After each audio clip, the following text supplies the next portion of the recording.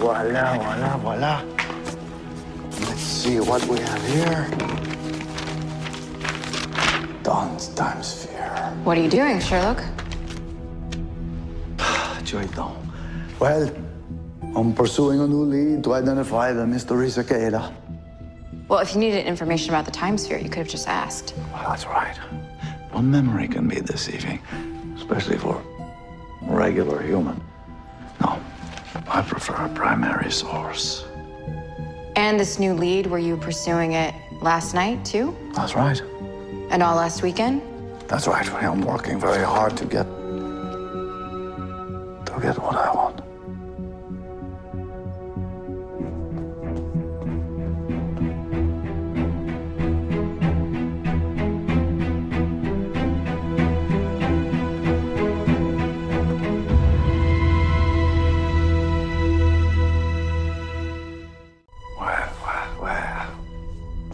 Bonjour. If I am Eobard Thawne, what kind of man am I? Patient, right? Master of science, but also a master of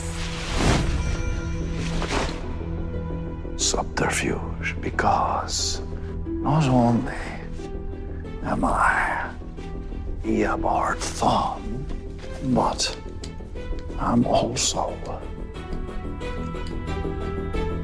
Dr. Harrison Wells. And that man, that man would keep his secrets close. What have we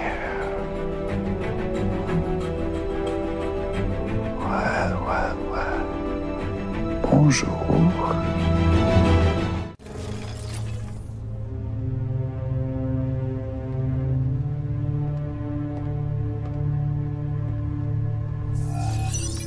Good evening, Dr. Wells. Bonjour, Gideon. I believe I have something that belongs right here. Video log, entry 247.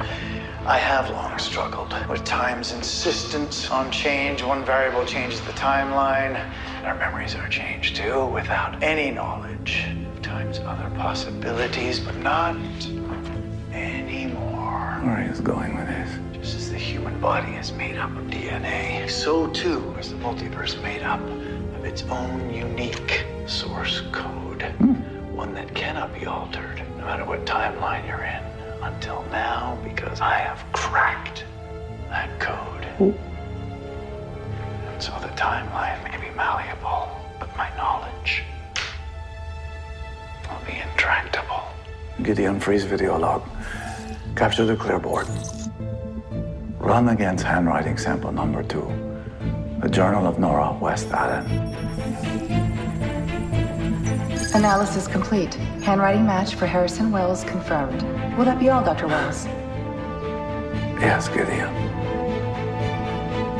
That will be all.